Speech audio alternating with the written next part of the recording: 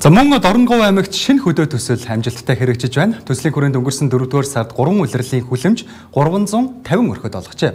Өнөөдрийн байдлаар 80 орчим хувьтай тариалалтаа хийгээд байна.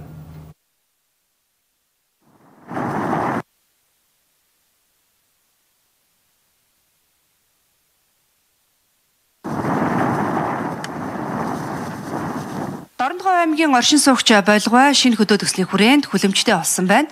Тэрээр хэлэхдээ цаг агарын хүн нөхцөл байдалтай байсан ч энэ жилийн тариалалтаа амжилттай хийж чадсан гэдгээ ярьлаа.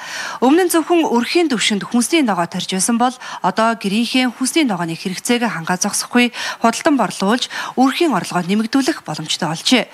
Улаан лойл, тарвас, амдатгой зэрэг хүнсний ногоо, жимс, гоёлын модыг говийн хөрсөнд хүлэмжинд тарж ургуулж байна одоо энэ айдуучин бүгдээрээ л хүлэмж авсан бүгдээрээ л эрвэтээр юм а хийцгээсэн. Бүгдээрээ л одоо биднээс хийж бүтээх л одоо гол зорилголд үлдэж байгаа байхгүй юу? Бүгдээрээ л мэрийгээд бүгдээрээ л одоо энэ өгсөн тоног төхөөрөмжийг ашиглаад бүгдээрээ орон нутгтаа эрүүл юу эко бүтээгдэхүүнээ үйлчлэх тийм цар хүрээтэй л ажиллаж байгаа юм бол. Харин уг газарт дөрвөн төрлийн хүлэмж байх бөгөөд шинэ хөдөө төслийг хүрээнд олгосон уг хүлэмжинд салаатны навч тарьсан байна. Ингэснээр тухайн хүлэмжийн аж ахуй эрхлэгчийн нарийн ногооны нэр төрөл нэмэгдэжээ. Ер нь тоног төхөөрөмж гэх юм бол мэдээж гадаад талбайд бол мэдээж трактороос ахгуулаад тоног төхөөрөмжүүл бид нарт л асуудал байдаг л да. Бид нар трактортай айлаасаа төрөсөлж яадаг гэсэн гуйж газар хагалдаг тракторын байхгүй байдаг нарийн ногооны хувьд болохоор хүлэмжинд л тарихгүй бол гадаа тарих юм бол нөгөө хортон шавж маань нарийн ногоо амархан идчихдэг гэмтдэг байхгүй салаад навч энтрийг буцаа энтрийг гэдэг. Тэгэхээр хүлэмжний асуудал бас айгүй чухал байдаг. Хөдөө аж ахуйн үйлдвэрлэлийг нэмэгдүүлэх замаар ажлын байрыг бий болгож байгаагаас гадна иргэдийн орлогыг нэмэгдүүлэх орон нутгийн иргэдийг эрүүл хүнсээр хангах зорилгыг төвшүүлсэн. Энэ утгаараа энэ онд улсын төсвийн 2 тэрбум төгрөгийг хөрөнгө оруулалт бүхий шинэ хөдөө төсөл Дорногов аймагт амжилттай хэрэгжиж байна. Ер нь яг манай Дорногов аймагт бол энэ газар тарилангийн асуудал хамгийн их дутмаг асуудал ш. Ер нь говийн бүсэд бол одоо газар тарилангийн асуудал огт яригддаг.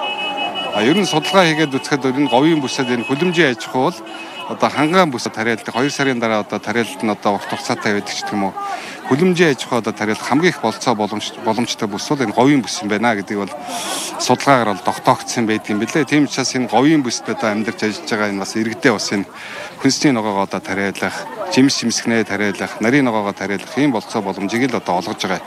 Нэгэсэндээ одоо юу гэдгийг одоо иргэдээ одоо газар тариалан болон энэ хөлөмжийн аж ахуй руу одоо бас нэлээд урайлж оруулж Дорногов аймаг маань өөрийнхөө одоо бас хэрэгцээг одоо дотоодынхаа хэрэгцээг бүрэн хангах. За Дорногов аймагт үйл ажиллагаа явуулж байгаа одоо гадаад дотоодын бас үйлдвэрүүд биш, нуулуурхайн одоо үйлдвэрүүдийн одоо бас хүнсийн ногоог манай Дорноговчууд маань бас хангаасаа гэдэг ийм зорилтын хүрээнд л одоо ингээд 2 тэрбум төгрөний тоног төхөөрөмж, трактор, комбайн, үргэлэгч, за хүлэмжийн аж ахуй одоо юу гэдгийг устгагч одоо устгагч устгааны системч юм бүх зүйлээр л одоо хангаж өгч байна л та.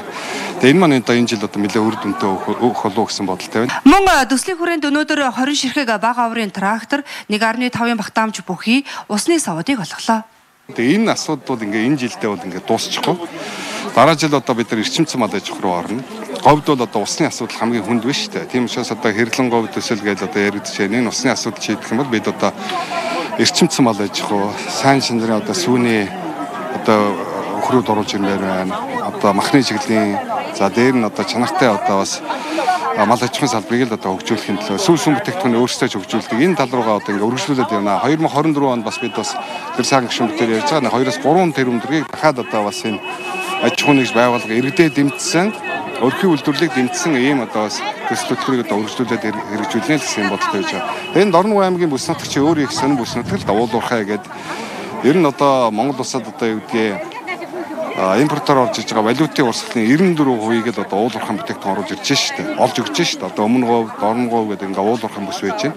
Тэгээ уулуурхан бүс байгаа юм чинь бид нар хажууд нь одоо газар тариалын бүс. Энэ уулуурхай дутагдж байгаа одоо энэ ногооны хүнсний ногооны хэрэгцээг л одоо бид нар хангах. Удахгүй одоо ингээд нефт боловсруулах үйлдвэр одоо ашиглалтанд оруулна. Төсөлд хамрагдсан нийт иргэд Дорногов аймгийн засаг даргын тамгын газар хүнс хөдөө аж ахуйн газартай хариуцлагын гэрээ байгуулж уйлрал бүр хүлэмж хэрэгслийг хяналтайгаар ашиглах юм. Өөрхийн хэрэглээ нөгөө хүмүүсийг хэрэглээг бол хангаад байдаг. Тий. Хамгийн гол нь шээгвай. Тэгээд нөгөө гөлгөр өгөрцөө, жижиг өгөрцөө. Тэгээд помидор бол сайхан ургана. Одоо бас нэг гол асуудал бол одоо мэдээж хэрэг тоног төхөөрөмжийн асуудал маш чухал байна. орчин үеийн шаардлагат нийцсэн тоног төхөөрөмжтэй болно гэдэг маань нөгөө тариалтын үр дүн бүтээмжүүл нэмэгдэн. Тэгээ энийг бол одоо манай аймаг орон нутгийн удирдлага хоёр гишүүн маань олж харж ингэж одоо хөрөнгө оруулалт хийж байгаад маш их талархаж байна. Тэгээд манай сумын хувьд бол одоо сумынхаа иргэдийг тийм ээ сумынхаа хөрсөнд ургасан одоо эрүүл эко хүнсээр хангах тэгээд цаашлах юм бол одоо ойролцоо сумдууд аймгийн төвөө хангах ийм одоо бас бодлого зорилтыг хэрэгжүүлээд явж байгаа. Ерөнхийлөгчийн санаачилсан хүнсний хангамж аюулгүй байдал үндэсний хөдөлгөөний хэрэгжилтийг Дорногоо аймагт эрчимжүүлэн ажиллаж байна.